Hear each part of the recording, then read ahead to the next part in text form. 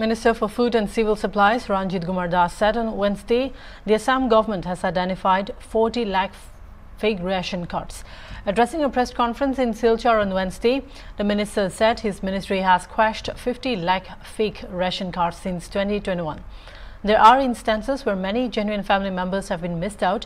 However, the names would be incorporated very soon. Das accepted the fact that due to negligence and mistakes of data entry operators, many names have been missed out not just in Barrack Valley but in other parts of Assam as well. As a deputy commissioner has been instructed to look into the matter at the earliest. Minister Das informed an appeal to surrender ration cards by some well-to-do families has yielded results. For his appeal, 2 lakh residents have surrendered and CMSM Dr. Himanta Biswa Sarma former appeal has got us another 8 lakh ration cards. As of now, 50 lakh ration cards have been nullified. With this, the number of valid ration cards in Assam stands at 66 lakh 25,917, informed Minister Ranjit Kumar Das. লোৱাৰ পিছত বিভাগৰ প্ৰথমতে মই আহ্বান জনাইছিলোঁ যে ধনী মানুহসকলে চাৰেণ্ডাৰ কৰিব লাগে ৰেচন কাৰ্ড। তাৰপিছত প্ৰায় পঞ্চাছ হাজাৰ ৰেচন কাৰ্ড আৰু অল টুগেডাৰ দুই লাখ বেনিফিচিয়াৰী চাৰেণ্ডাৰ কৰিছিলে। পিছত মাননীয় মুখ্যমন্ত্ৰী ডাঙৰীয়াক মই আহ্বান জনালোঁ। তেওঁ থ্ৰী টাইমছ এপিল কৰিছিলে। থ্ৰী টাইমছ এপিল কৰাৰ পিছত দুই লাখ ৰেচন কাৰ্ড হোল্ডাৰ আৰু all together eight lakh beneficiary surrender কৰিছিলে।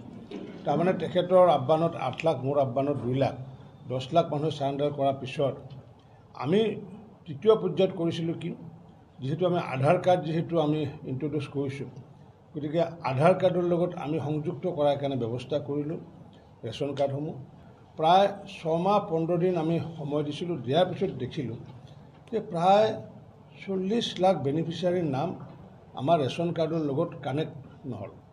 আৰু যেতিয়া কানেক্ট যেতিয়া নহ'ল তেতিয়া আমি ৰেণ্ডম কিছুমান চেম্পুল লৈ পেলাই আমি চেক কৰিছিলোঁ যে এই কানেক্ট নোহোৱা মানুহবিলাকৰ যে তেওঁলোকে কিয় কানেক্ট কৰা নাই। পিছত আমি যেতিয়া চেক কৰিলোঁ ৰেণ্ডম যেতিয়া চেক কৰিলোঁ আমি দেখিলোঁ যে সেইবোৰ ভুৱা ৰেচন কাৰ্ড আছিলে।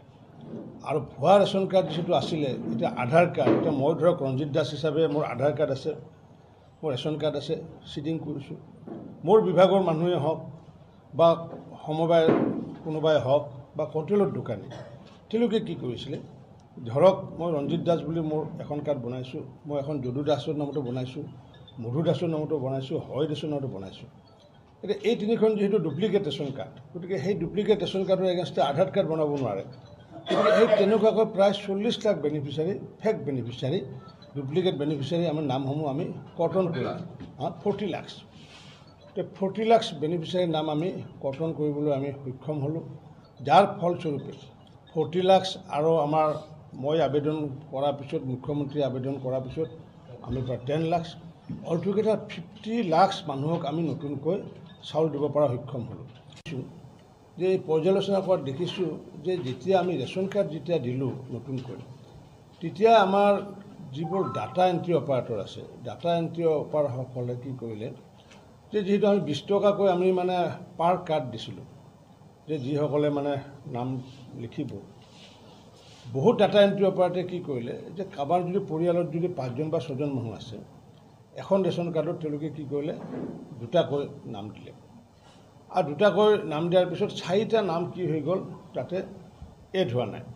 এনেকুৱাকৈ ভালে সংখ্যক ৰেচন কাৰ্ড আমাৰ বৰাক ভেলীত আছে অসমতো সমগ্ৰ অসমতো আছে বৰাক ভেলীতো আছে এতিয়া এই এই তিনিখন জিলাৰ মই আয়ুক্তসকলক নিৰ্দেশ দিছোঁ যে এতিয়াও যিসকল পৰিয়ালৰ নাম এড হ'বলগীয়া আছে সেই সময়ত কিবা ভুলক্ৰমে হওক বা ডাটা এণ্ট্ৰি অপাৰেটৰবিলাকে হয়তো তেওঁলোকে নাম সোমোৱা নাই এতিয়া আমি স্পেচিয়েল কেম্পিং এটা হাতত লৈছোঁ এখন নতুন ফৰ্ম এখন বনোৱা হ'ব।